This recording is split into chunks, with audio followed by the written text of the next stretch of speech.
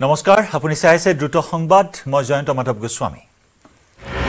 অসম কঁপোৱা ছাত্ৰ নেতা অনিমেষ ভূঞা হত্যাকাণ্ডৰ পাঁচ অভিযুক্তক মুকলি। গুৱাহাটী উচ্চ ন্যায়ালয়ৰ পৰা জামিন লাভৰ পিছত শনিবাৰে মুকলি আকাশৰ তললৈ ওলাই আহিল পাঁচোজন অভিযুক্ত। ইতিমধ্যে আৰক্ষীৰ বাহনৰ খুন্দাত মৃত্যু। মূল অভিযুক্ত নীৰজ দাস ওৰফে কোলা ল'ৰাৰ। বিগত প্ৰায় দুবছৰে যোৰহাট কেন্দ্ৰীয় কাৰাগাৰত বন্দী বাৰ অভিযুক্ত জামিন লাভ কৰা অভিযুক্তসকল মোহন দাস বিতুপন দাস অকণি ওৰফে সঞ্জু দাস ৰাতুল দাস আৰু বিক্ৰম দাস। বাকীকেইজন অভিযুক্তৰ জামিন লাভৰ পূৰ্ণ সম্ভাৱনা। দুহেজাৰ একৈছ চনৰ ঊনত্ৰিছ নৱেম্বৰত যোৰহাট চহৰত সংঘটিত হৈছিল এই চাঞ্চল্যকৰ ঘটনা।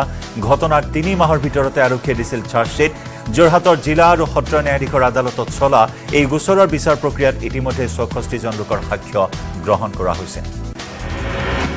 বিজেপিৰ পিতামহ লালকৃষ্ণ আদৱানীলৈ দেশৰ সৰ্বোচ্চ সন্মান। ভাৰত ৰত্ন বঁটাৰে বিভূষিত লালকৃষ্ণ আদৱানী। বঁটা ঘোষণাৰ পাছতে আদৱানীক শুভেচ্ছা জ্ঞাপন প্ৰধানমন্ত্ৰী মোদীৰ। টুইটযোগে মোদীয়ে শ্বেয়াৰ কৰিলে আনন্দৰ বাৰ্তা।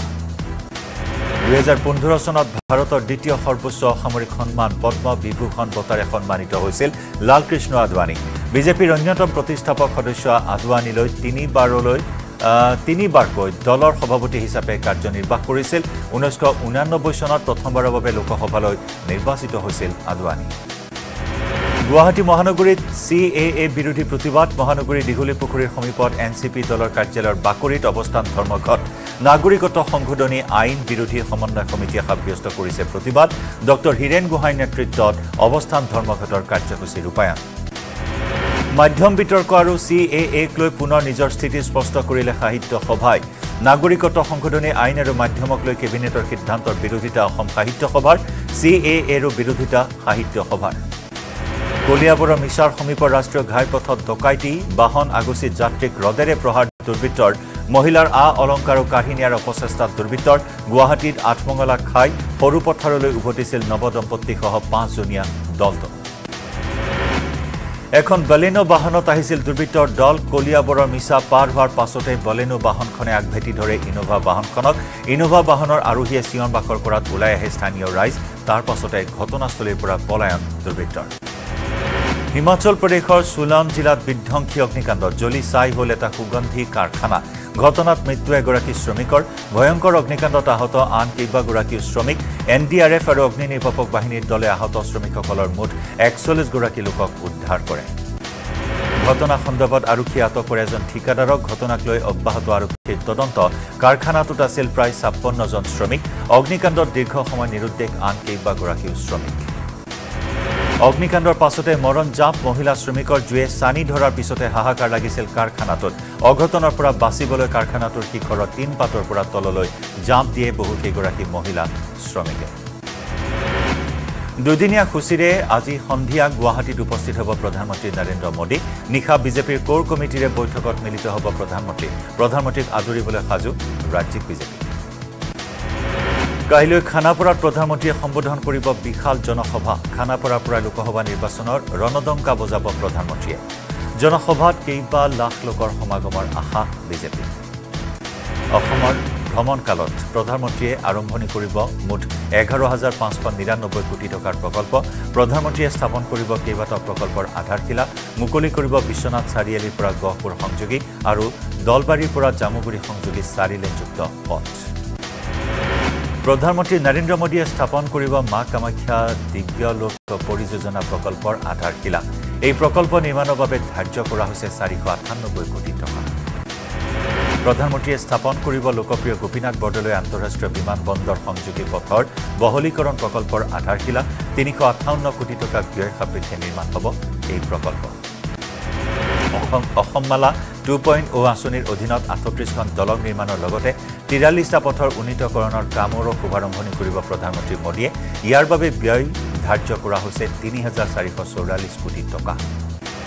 নেহৰু ষ্টেডিয়ামক ফিফা মানৰ ফুটবল ষ্টেডিয়ামলৈ উন্নীতকৰণৰ আধাৰশিলা স্থাপন কৰিব প্ৰধানমন্ত্ৰীয়ে। আঠশ একত্ৰিছ কোটি টকা ব্যয় সাপেক্ষে ৰূপায়ণ হ'ব এই প্ৰকল্প। প্ৰধানমন্ত্ৰীয়ে স্থাপন কৰিব চন্দ্ৰপুৰ ষ্টেডিয়াম আৰু গুৱাহাটী চিকিৎসা মহাবিদ্যালয় আৰু হাস্পতালৰ আন্তঃগাঁথনি উন্নয়ন প্ৰকল্পৰ আধাৰশিলা চন্দ্ৰপুৰ ষ্টেডিয়ামৰ বাবে তিনিশ কোটি টকা আৰু গুৱাহাটী চিকিৎসা মহাবিদ্যালয় আৰু হাস্পতালৰ আন্তঃগাঁথনিৰ উন্নয়নৰ প্ৰকল্পৰ বাবে দুহেজাৰ তিনিশ পঞ্চাছ কোটি ব্যয় ধাৰ্য। প্ৰধানমন্ত্ৰীয়ে স্থাপন কৰিব কৰিমগঞ্জ চিকিৎসা মহাবিদ্যালয় আৰু ইউনিটি মলৰ আধাৰশিলাও। কৰিমগঞ্জ চিকিৎসা মহাবিদ্যালয় পাঁচশ আঠসত্তৰ কোটি টকা ব্যয় সাপেক্ষে নিৰ্মাণ কৰা হ'ব। লগতে দুশ সাতানব্বৈ কোটি টকা ব্যয় সাপেক্ষে নিৰ্মাণ হ'ব ইউনিটি হল। প্ৰধানমন্ত্ৰীৰ ভ্ৰমণক লৈ মহানগৰীত পথ নিৰ্দেশনা সোতৰ আৰু সাতাইছ নম্বৰ ৰাষ্ট্ৰীয় ঘাইপথত যান বাহন চলাচলত বাধ্য বাধকতা। ঘাইপথ দুটাত মালবাহী বাহনৰ চলাচলত নিষেধাজ্ঞা। শনিবাৰে দিনৰ দুই বজাৰ পৰা নিশা এঘাৰ বজালৈ দেওবাৰে পুৱা চাৰি বজাৰ পৰা সন্ধিয়া ছয় বজালৈ এই নিৰ্দেশনা।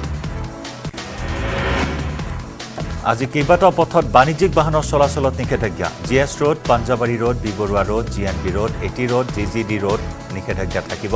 দিনৰ দুই বজাৰ পৰা নিশা দহ বজালৈ বাণিজ্যিক বাহন চলাচলত নিষেধাজ্ঞা। কাইলৈ কেইবাটাও পথত বাণিজ্যিক বাহন চলাচলত নিষেধাজ্ঞা। G S road Panjabari road ছয় mile Narengi road Tripura road Beltola Bazar road Beltola Vashistha ৰোডত নিষেধাজ্ঞা। দেওবাৰে পুৱা পাঁচ বজাৰ পৰা সন্ধিয়া সাত বজালৈ নিষেধাজ্ঞা। ইণ্ডি এলায়েন্সত চূড়ান্ত পৰ্যায়ত উঠিছে সংঘাত। লোকসভা নিৰ্বাচনত কংগ্ৰেছে চল্লিছখন আসনো পোৱাৰ সম্ভাৱনা নাই বুলি মন্তব্য মুখ্যমন্ত্ৰী মমতা বেনাৰ্জীৰ মমতা বেনাৰ্জীক ভুল তথ্য দিয়াৰ অভিযোগ কংগ্ৰেছ নেতা জয়ৰাম ৰমেশৰ। ৰাহুল গান্ধীৰ ভাৰত জোড়ো ন্যায় যাত্ৰাক সমালোচনা মমতা বেনাৰ্জীৰ। পশ্চিমবংগলৈ অহা ন্যায় যাত্ৰা বাৰাণসী বা এলাহাবাদলৈ কিয় নগ'ল বুলি প্ৰশ্ন মমতাৰ। যদি সাহস আছে বিজেপিৰে যুঁজিবলৈ প্ৰত্যাহ্বান মমতাৰ। যুৱতীক পলুৱাই নিয়াক কেন্দ্ৰ কৰি বিহালীত অব্যাহত উত্তেজনা। ঘৰলৈ উভতি যাবলৈ অমান্ত হোৱা যুৱতীগৰাকীক লৈ এই পৰিস্থিতি। শুকুৰবাৰে একাংশ লোকে থানাতে আক্ৰমণ কৰিছিল যুৱতীগৰাকীৰ প্ৰেমিকক। জীয়াই আছে পুনম পাণ্ডে। ভাইৰেল পুনম পাণ্ডেৰ এটা ভিডিঅ' চাৰ্ভিকেল কেঞ্চাৰক লৈ সজাগতা বিয়পোৱাৰ বাবে অভিনেত্ৰীগৰাকীয়ে এই নাটক কৰাৰ দাবী কৰিছে। কিন্তু ভিডিঅ' ভাইৰেল হোৱাৰ পাছতে তীব্ৰ সমালোচনা কৰা হৈছে অভিনেত্ৰীগৰাকীক। শুৱালকুছি আৰক্ষীৰ জালত পৰিছে দুধৰ্ষ চোৰ ধৃত চোৰটো কমল দাস। গৃহস্থই বিয়া খাবলৈ যোৱাৰ সুযোগতে লুটিছিল সোণৰ অলংকাৰ আৰু নগদ ধন। শুৱালকুছিৰ হাতী সত্ৰত সংঘটিত হৈছিল চুৰিকাণ্ড। গোৱালপাৰা জিলাৰ কৃষ্ণাই আৰক্ষী থানাৰ অন্তৰ্গত খাৰডাং বজাৰত বন্যহস্তীৰ সন্ত্ৰাস। বন্যহস্তী জাকে অঞ্চলটোত প্ৰৱেশ কৰি এটা পৰিয়ালৰ বাসগৃহ ভাঙি লণ্ডভণ্ড কৰাৰ লগতে খাই তহিলং কৰিলে ধান চাউল। নগাঁৱৰ কঠীয়াতলীত পুৱতি নিশা ভয়ংকৰ পথ দুৰ্ঘটনা পথৰ কাষত ৰখাই থোৱা ডাম্পাৰত খুন্দা তীব্ৰবেগী বিলাসী বাহনৰ থিতাতে বিলাসী বাহনখনৰ নিহত চালকজন ঘন কুঁৱলীৰ বাবে সংঘটিত হয় দুৰ্ঘটনা। যোৰহাটৰ পকামুৰা ফুকন আলিত পিঞ্জৰাবদ্ধ নাহৰ ফুটুকী। যোৱা পঁচিছ জানুৱাৰীতো একে স্থানতে পিঞ্জৰাবদ্ধ হৈছিল নাহৰ ফুটুকী। সমীপৰ চাহ বাগিচাত নাহৰ ফুটুকী প্ৰত্যক্ষ কৰিছিল একাংশই। বন বিভাগৰ তৎপৰতাত পিঞ্জৰাবদ্ধ দ্বিতীয়টো নাহৰ ফুটুকী। মৈৰাবাৰী গ্ৰাম্য চিকিৎসালয়ত আজব ঘটনা। চিকিৎসালয়খনত পৰ্যাপ্ত পোহৰ নথকাৰ অভিযোগ মোবাইলৰ টৰ্চ লাইটৰ পোহৰত চলে ৰোগীৰ চিকিৎসা। বিভাগীয় গাফিলতিৰ ফল ভুগিবলগীয়া হৈছে সাধাৰণ লোকে। পোন্ধৰ নম্বৰ ৰাষ্ট্ৰীয় ঘাইপথত প্ৰকাণ্ড গাঁত পথ মেৰামতি নকৰাৰ বাবে ৰাইজে সাব্যস্ত কৰিলে প্ৰতিবাদ। বিশ্বনাথ চাৰিআলিৰ কেইবা কোবাইগঢ়া গাঁৱত পোন্ধৰ নম্বৰ ৰাষ্ট্ৰীয় ঘাইপথত সৃষ্টি হোৱা প্ৰকাণ্ড প্ৰকাণ্ড গাঁতে জীয়াটো ভোগাইছে ৰাইজক। কাজিৰঙা ৰাষ্ট্ৰীয় উদ্যানত এতিয়া পৰ্যটকৰ অন্যতম আকৰ্ষণ হৈ উঠিছে সোণালী বাঘ। কিছুদিনৰ পৰা পৰ্যটকৰ সন্মুখত সহজেই ধৰা দিছে সোণালী বাঘে। এইবাৰ বাগৰি বনাঞ্চলৰ বগৰীজেং এলেকাত সোণালী বাঘ প্ৰত্যক্ষ কৰাৰ সৌভাগ্য ঘটিল পৰ্যটকৰ। মেৰাপানীৰ তেলিশাল হিৰিম্বা নগৰ ক্ষেত্ৰত তিনিদিনীয়া কাৰ্যসূচীৰে অনুষ্ঠিত হৈছে এপছুৰ কেন্দ্ৰীয় প্ৰতিনিধিৰ অভিৱৰ্তন। শনিবাৰে দ্বিতীয় দিনৰ কাৰ্যসূচীত পতাকা উত্তোলন আৰু শ্বহীদ তৰ্পণ কাৰ্যসূচী সম্পন্ন হয়। নানা সমস্যাৰে জৰ্জৰিত গহপুৰৰ ছয়দুৱাৰ শিক্ষাখণ্ডৰ অন্তৰ্গত একাংশ প্ৰাথমিক বিদ্যালয়। শিক্ষাৰ্থীৰ অনুপাতে নাই শিক্ষক। আন্তঃগাঁথনিৰো অভাৱ। একাংশ বিদ্যালয়ত গহপুৰ পূব কলংপুৰ প্ৰাথমিক বিদ্যালয়ত শিক্ষাৰ্থীৰ অনুপাতে শিক্ষয়িত্ৰী মাথো দুগৰাকীহে। শিৱসেনাৰ নেতাক গুলীয়াই হত্যা কৰাৰ অভিযোগত গ্ৰেপ্তাৰ মহাৰাষ্ট্ৰৰ বিজেপি বিধায়কক। ধৃত বিজেপি বিধায়ক গণপত গায়কোৱাড বিধায়কজনৰ দুই সহযোগীকো গ্ৰেপ্তাৰ। মহাৰাষ্ট্ৰৰ উল হাছনগৰৰ হিল লাইন থানাত সংঘটিত হৈছিল ঘটনা। সোণাপুৰৰ সুৰংগত খহনীয়া খহনীয়াৰ বাবে বোকাময় হৈ পৰিল ৰাজপথ। সুৰংগটো পুনৰ যাতায়াত সুচল কৰাৰ বাবে ব্যস্ত হৈ পৰাত পৰিলক্ষিত হ'ল মেঘালয় আৰক্ষীক। অসম চৰকাৰৰ লোক নিৰ্মাণ বিভাগৰ নিযুক্তি পত্ৰ বিতৰণ অনুষ্ঠান। তেসত্তৰগৰাকী কনিষ্ঠ অভিযন্তা পদৰ প্ৰাৰ্থীক প্ৰদান কৰা হ'ল নিযুক্তি পত্ৰ। পি ডব্লিউ ডি কনভেনশ্যন চেণ্টাৰত অনুষ্ঠিত হয় নিযুক্তি পত্ৰ প্ৰদান অনুষ্ঠান। চৰকাৰৰ বিৰুদ্ধে ক্ষোভ শৰণীয়া সংগঠনৰ শৰণীয়া কছাৰীসকল ৰাজনৈতিক ষড়যন্ত্ৰৰ বলি হোৱাৰ অভিযোগ। শৰণীয়া কছাৰীসকলৰ সমস্যা সমাধান নহলে নিৰ্বাচন বৰ্জন আৰু আন্দোলনৰ হুংকাৰ দিলে চাৰিটাকৈ শৰণীয়া সংগঠনে। মানকচৰ সমষ্টিৰ খোপাটীয়া পাব্লিক হাইস্কুলৰ খেলপথাৰত এ আই ডি এফৰ জনসভা। জনসভাত বিৰোধী কংগ্ৰেছ আৰু বিজেপিক ক্ষুদ্ধাৰ সমালোচনা সাংসদ বদৰুদ্দিন আজমলৰ সভাত সমবেত হয় প্ৰায় পাঁচ সহস্ৰাধিক লোক। গুণোৎসৱ সমাগত। পাঁচ ফেব্ৰুৱাৰীৰ পৰা দুদিনীয়াকৈ গোৱালপাৰা জিলাত অনুষ্ঠিত হ'ব গুণোৎসৱ। ইতিমধ্যে গুণোৎসৱক লৈ বিদ্যালয়সমূহত ব্যাপক তৎপৰতা দেখিবলৈ পোৱা হৈছে। ঊনৈছশ একচল্লিছ চনতে স্থাপিত এছিয়াৰ দ্বিতীয় বৃহত্তম ৰেচম পামত সম্প্ৰতি গুৰুতৰ সমস্যাই দেখা দিছে। চৰকাৰৰ সংশ্লিষ্ট বিভাগৰ অৱহেলাৰ বাবে অস্তিত্বৰ সংকটত পৰিছে গৌৰীসাগৰ চৰকাৰী ৰেচম পাম। বিশ্ব শান্তি আৰু ভাতৃত্ববোধৰ বাবে বিশেষ দোৱা সোণাপুৰত বিশাল ৱাজ ও দোৱা মেহফিল সম্পন্ন। শুকুৰবাৰে সোণাপুৰত ডিমৰীয়া সোণাপুৰ আঞ্চলিক জমিয়াত উলেমাৰ উদ্যোগত কামৰূপ মহানগৰ জিলা জমিয়ত উলেমা আৰু স্থানীয় ৰাইজৰ সহযোগত এই অনুষ্ঠান। পঁচিছ লাখ ভক্তৰে ন ফেব্ৰুৱাৰীৰ পৰা দ্বিতীয় বৈকুণ্ঠপুৰীত পৰিণত হ'ব ৰঙিয়াৰ হাতীখোলা পথাৰ। সাতশ বিঘা ভূমিক সামৰি শংকৰদেৱ সংঘৰ তিৰান্নব্বৈ সংখ্যক অধিৱেশনৰ প্ৰস্তুতি সম্পূৰ্ণ। তিনিশ আঠটা চৌকাৰে সাজু ৰান্ধনীশাল থাকিব এশ দহটা শিবিৰ একেলগে আহাৰ গ্ৰহণ কৰিব পাৰিব দহ হাজাৰ ভক্তই। ছোৱাইন ফ্লুত আক্ৰান্ত হৈছে ৰাজস্থানৰ প্ৰাক্তন মুখ্যমন্ত্ৰী অশোক গেহলট। ছোৱাইন ফ্লুৰ লগতে কভিডৰ অৱস্থিতিও ধৰা পৰিছে প্ৰাক্তন মুখ্যমন্ত্ৰীগৰাকীৰ দেহত। ইৰাক আৰু ছিৰিয়াৰ ইৰাণী ঘাটিত আক্ৰমণ আমেৰিকাৰ। ইৰাকে আমেৰিকাৰ পৰা এই আক্ৰমণক সাৰ্বভৌমত্বৰ উলংঘন বুলি সমালোচনা কৰিছে। আমেৰিকাৰ কোনো লোকক হানি কৰিলে আমিও ইয়াৰ প্ৰত্যুত্তৰ দিম বুলি উভতি ধৰিলে বাইডেনেও। হাফলং চহৰৰ মাজমজিয়াত ভয়ংকৰ অগ্নিকাণ্ড। অগ্নিকাণ্ডত জাহ গৈছে এটা মোবাইল শ্ব'ৰুম। হাফলং জগন্নাথবাৰীৰ বিপৰীত দিশত আছিল শ্ব'ৰুমটো। জুনিক চেলুনৰ পুনৰ জনাইছোঁ ইউনিক চেলুনৰ মোবাইল শ্ব'ৰুমৰ কোটি টকাৰ মোবাইল তথা আইফোন জ্বলি চাৰখাৰ হৈ যায়। মহানগৰীৰ ফৰেষ্ট গেট স্থিত কাৰ্বন চহৰত অনুষ্ঠিত কৰা হয় পৰিৱেশ সজাগতা অনুষ্ঠান। অসম প্ৰদূষণ নিয়ন্ত্ৰণ পৰিষদৰ উদ্যোগত দিনজুৰীয়াকৈ দিনজোৰাকৈ অনুষ্ঠিত কৰা হয় পৰিৱেশ সজাগতা অনুষ্ঠান। অনুষ্ঠানত কেইবাখনো শিক্ষানুষ্ঠানৰ শিক্ষাৰ্থীৰ অংশগ্ৰহণ। দ্ৰুত সংবাদ অব্যাহত ৰাখিম। সময় এটা বাণিজ্যিক বিৰতিৰ ভাৰতৰ গৌৰৱ গোটেই বিশ্বতেই ইয়াৰ সন্মান ষ্ট্ৰং মানে মাইথান ষ্টীল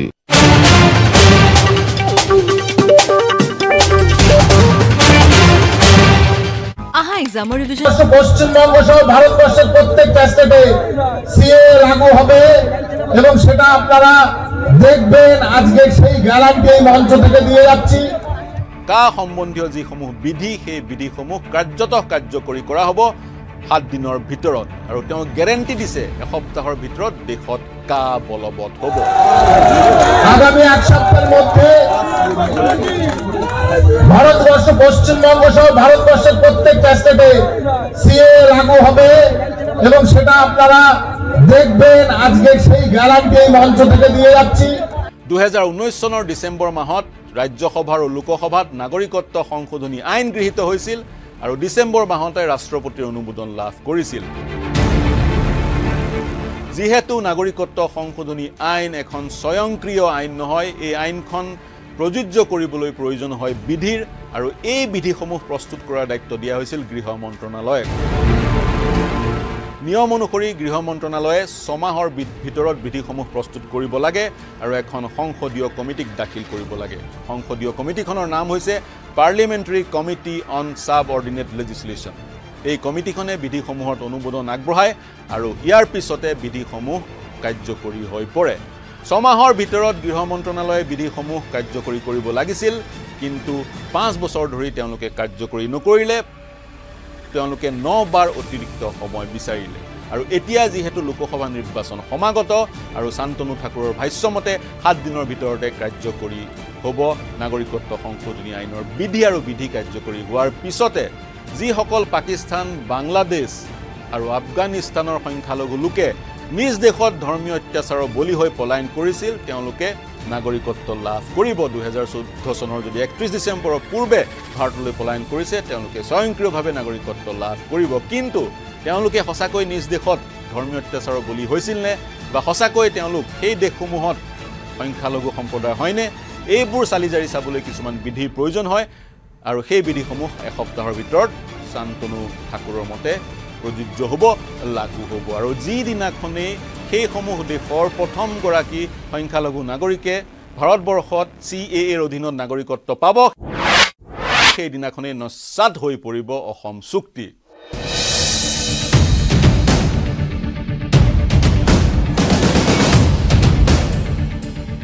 ঊনৈছশ পঁচাশী চনৰ চৈধ্য আৰু পোন্ধৰ মাৰ্চ আগষ্টৰ মাজনিশা স্বাক্ষৰিত হোৱা অসম চুক্তিত ঊনৈছশ এসত্তৰ চনৰ পঁচিছ মাৰ্চক কাট অফ ডেট হিচাপে ধাৰ্য কৰা হৈছিল অৰ্থাৎ সেই দিনটোৰ পিছত বাংলাদেশৰ পৰা যিসকল লোক আহিছে অসমলৈ বা ভাৰতবৰ্ষলৈ যি ধৰ্মৰে নহওক তেওঁলোকক অবৈধ বুলি বিবেচিত কৰা হ'ব। আৰু যিহেতু নাগৰিকত্ব সংশোধনী আইনে বিশেষকৈ হিন্দু খ্ৰীষ্টিয়ান বা আন আন ধৰ্মীয় সংখ্যালঘু লোকক নাগৰিকত নাগৰিক হিচাপে গ্ৰহণ কৰাৰ কথাটো নিশ্চিত কৰিছে গতিকে এই নাগৰিকত্ব আইনখন নতুন নাগৰিকত্ব আইনখন অসম চুক্তিৰ পৰিপন্থী। তাৰ সমান্তৰালকৈ অসম চুক্তিৰ আধাৰত যি এক ভিত্তিবৰ্ষৰ নিৰ্ধাৰণ কৰা হৈছিল সেই ভিত্তিবৰ্ষক প্ৰত্যাহ্বান জনাই উচ্চতম ন্যায়ালয়ত একাধিক দল সংগঠনো কাষ চাপিছিল আৰু উচ্চতম ন্যায়ালয়ে ইতিমধ্যে এই সন্দৰ্ভত শুনানি সমাপ্ত কৰি জাজমেণ্ট ৰায়দান ৰিজাৰ্ভ কৰি ৰাখিছে। গতিকে বিষয়টো যথেষ্ট জটিল। তাৰ মাজতে কেন্দ্ৰই নাগৰিকত্ব সংশোধনী আইন যথাৰ্থত কাৰ্যকৰী কৰিবলৈ ওলাইছে। কেন্দ্ৰৰ এই পদক্ষেপে অনাগত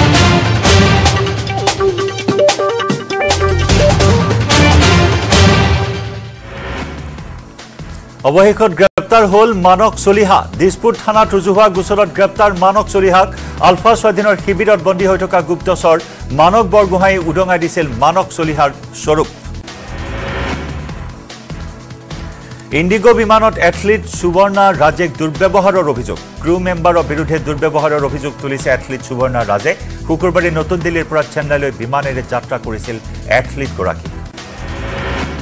যশস্বী জয়ছোৱালৰ দ্বি শতক ইংলেণ্ডৰ বিৰুদ্ধে দুখন দুখন ন ৰান সংগ্ৰহ কৰি ক্ৰিকেটাৰগৰাকীয়ে ইংলেণ্ডৰ বিৰুদ্ধে দ্বিতীয় টেষ্টত এই কৃতিত্ব অৰ্জন যশস্বী পথ সুৰক্ষা অভিযান চি এন এন নিউজ এইটিনৰ বিশেষ অনুষ্ঠান। অনুষ্ঠানত কেইবাগৰাকী ব্যক্তিৰ অংশগ্ৰহণ। অনুষ্ঠানত বিগ বি অমিতাভ বচ্চনৰ লগতে অংশগ্ৰহণ কৰে কেন্দ্ৰীয় পথ পৰিবহণ মন্ত্ৰী নীতিন গাডকাৰী।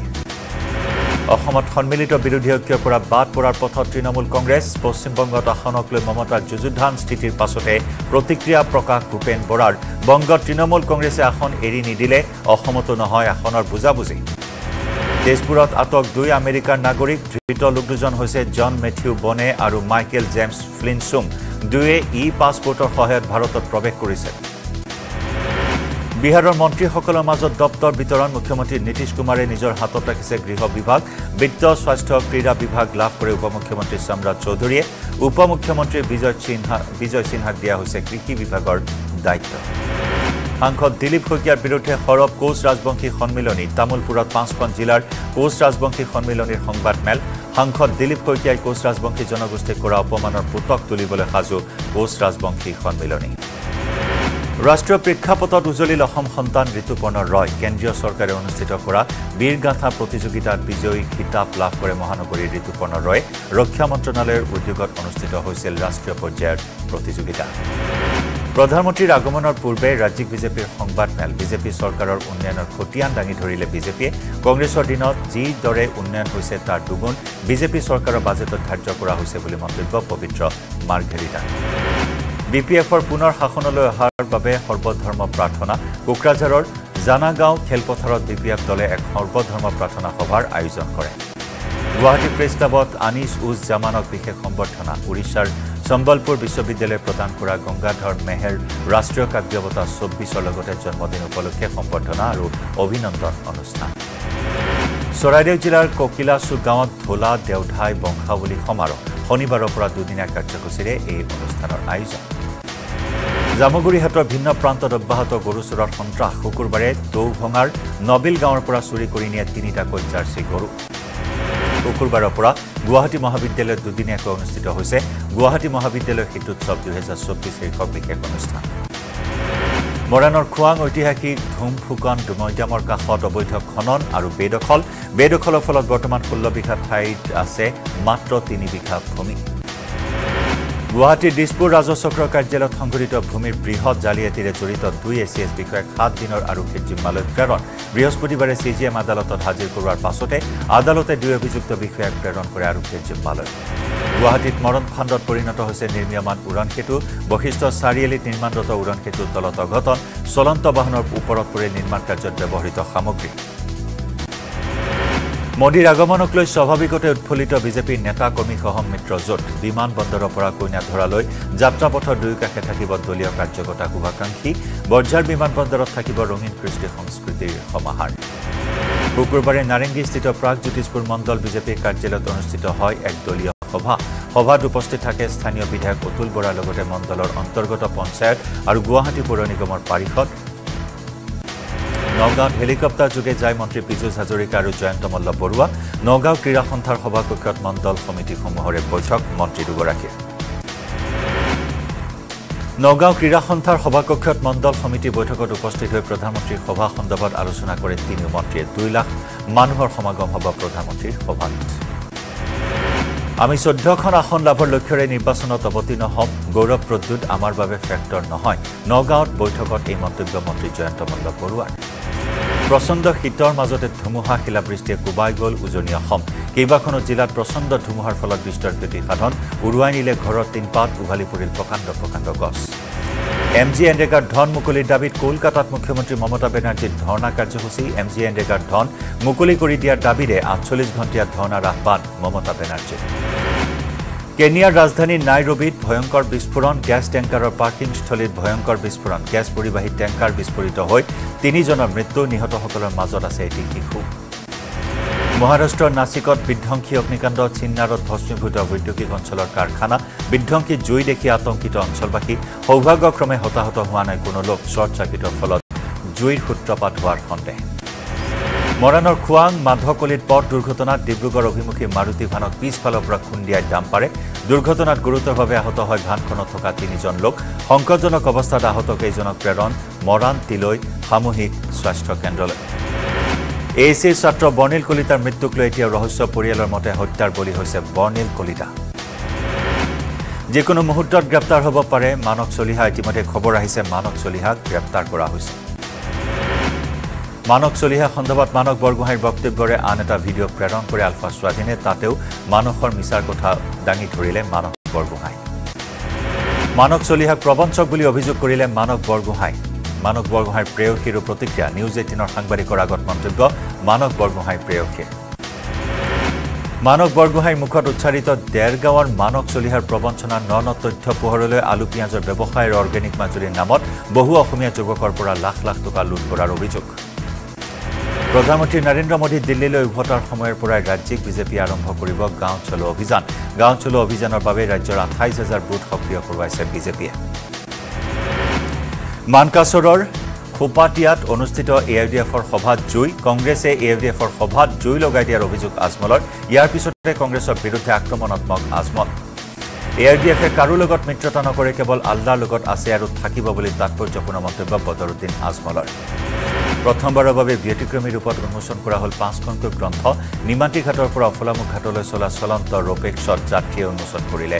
গ্ৰন্থ গহপুৰত আটক ড্ৰাগছ বেপাৰী ৰাজগড় আৰক্ষীয়ে গোপন সূত্ৰৰ ভিত্তিত গহপুৰৰ গৌৰ বস্তিৰ সিদ্ধাৰ্থ বৰা আৰু ছাদ্দাম হুছেইন নামৰ দুই যুৱকক ছটা কণ্টেইনাৰসহ আটক কৰে। প্ৰধানমন্ত্ৰীৰ অসম ভ্ৰমণ সন্দৰ্ভত ৰিপুণ বৰাৰ সংবাদমেল প্ৰধানমন্ত্ৰীক অসমলৈ আদৰণি জনাবলৈ এই সংবাদমেল লগতে প্ৰধানমন্ত্ৰীক সমালোচনা কৰি আঠ সংবাদমেলত প্ৰধানমন্ত্ৰীলৈ বুলি উত্থাপন কৰিলে আঠটাকৈ প্ৰশ্ন। ডিগবৈত ফুটিল অইলৰ তেল পৰিবাহী পাইপ। ডিগবৈৰ বালিজান খ্ৰীষ্টিয়ান বস্তিত তেল পৰিবাহী পাইপ ফুটি অহৰহ নিৰ্গত হৈছে তেল। বহু সময়লৈ তেল পৰিবাহী পাইপৰ ভাল্ভ বন্ধ নকৰাত শংকাত ভোগে ৰাইজ। বিহালী আৰক্ষী থানাত উত্তপ্ত পৰিস্থিতি আৰক্ষী আৰু বিহালীৰ তেলেংগনীয়া গাঁৱৰ একাংশ লোকৰ মাজত হতাহতি। প্ৰেমিকাক পলুৱাই নিয়া যুৱকক ঘেৰাও কৰিলে ৰাইজে। শিলচৰ মেডিকেল কলেজ হাস্পতালত টাটা কোম্পানীয়ে নিৰ্মাণ কৰি আছে কেঞ্চাৰ হাস্পতাল। প্ৰায় নব্বৈ শতাংশ কাম সমাপ্ত হৈছে হাস্পতালখনত নৱনিৰ্মিত কেঞ্চাৰ হাস্পতাল পৰিদৰ্শন কৰিলে সোণাইৰ বিধায়ক কৰিমুদ্দিন বৰভূঞাই। দুধনৈৰ বাখ্ৰাখুটিত ৰহস্যজনক অৱস্থাত মহিলাৰ মৃতদেহ উদ্ধাৰ। ভাড়াঘৰৰ বিচনাত শুই থকা অৱস্থাত উদ্ধাৰ। গেলমু শ্বেৰপা নামৰ মহিলাগৰাকীৰ মৃতদেহ। মৃতদেহটোৰ কেইবাটাও অংশত আঘাতৰ চিন স্পষ্ট। ৰাষ্ট্ৰীয় আৰু আন্তঃৰাষ্ট্ৰীয় ক্ৰীড়াত উজলিল নগাঁৱৰ বৰহমপুৰত দুই তৰুণ তৰুণী ৰাজস্থানত ৰাষ্ট্ৰীয় পৰ্যায়ৰ সমৰ কলা প্ৰতিযোগিতাত পদক আজৰিলে কৌশিকা ভূমিজে। গোলাঘাটৰ শালমৰা বাইপাছৰ ৰংদৈত ৰহস্যজনক অৱস্থাত উদ্ধাৰ এটা অচিনাক্ত মৃতদেহ পথৰ কাষত পৰি থকা অৱস্থাত উদ্ধাৰ পুৰুষৰ মৃতদেহ লোকজনক হত্যা কৰি পেলাই থৈ যোৱাৰ সন্দেহ ৰাইজৰ। ঊনৈছশ একচল্লিছ চনতে স্থাপিত এছিয়াৰ দ্বিতীয় বৃহৎ ৰেচম পামত গুৰুতৰ সমস্যাই দেখা দিছে। চৰকাৰৰ সংশ্লিষ্ট বিভাগৰ অৱহেলাৰ বাবে অস্তিত্বৰ সংকটত পৰিছে গৌৰীসাগৰ চৰকাৰী ৰেচম পাম। সমস্যাত ভুগিছে মুগা পালকসকল। বাক্সাৰ বাথৌগুৰিত বাথৌ পূজাৰ সোণালী জয়ন্তী উৎসৱ। বড়োসকলৰ ঐতিহাসিক পটভূমি সম্বলিত প্ৰদৰ্শনীয়ে দৃষ্টি আকৰ্ষণ কৰিছে বাথৌ পূজাস্থলীত আকৰ্ষণৰ কেন্দ্ৰবিন্দু হৈ পৰিছে জনগোষ্ঠীটোৰ ঐতিহাসিক কীৰ্তিচিহ্নসমূহ শোণিতপুৰ জিলাৰ ঢেকীয়াজুলিত আৰক্ষীৰ অভিযানত জব্দ দহ কেজি গাঞ্জা নিষিদ্ধ গাঞ্জা জব্দ কৰা হৈছে। গাঞ্জাসহ আটক নন্দলাল মণ্ডল নামৰ এটা সৰবৰাহকাৰীক ওৰাং তেজপুৰ অভিমুখে এখন আল্ট্ৰা বাছৰ পৰা জব্দ কৰা হয় গাঞ্জাখিনি। জামুগুৰিহাটৰ সৰুভগীয়াৰ পাঁচগাঁও যুৱ সংঘই আয়োজন কৰা দিবানৈশ ক্ৰিকেট প্ৰতিযোগিতাত বেটছমেনৰ ৰূপত বিধায়ক পদ্ম হাজৰিকা প্ৰতিযোগিতাত উদ্বোধন কৰে বিধায়ক পদ্ম হাজৰিকাই আৰু মহানগৰীৰ সোণাইঘুলিস্থিত নাৰায়ণ স্কুলে আয়োজন কৰিছে মডেল ইউনাইটেড নেশ্যন শীৰ্ষক এক বিশেষ অনুষ্ঠান। অনুষ্ঠানত বিদ্যালয়ৰ ছাত্ৰ ছাত্ৰীসকলক সাতখন ৰাষ্ট্ৰত বিভক্ত কৰি অন্য দেশৰ শিক্ষাৰে তুলনা কৰা হয়। ছাত্ৰ ছাত্ৰীৰ বৌদ্ধিক বিকাশৰ বাবে গ্ৰহণ কৰা হয় এই পদক্ষেপ। আৰু এয়া আছিল দ্ৰুত সংবাদ। নমস্কাৰ।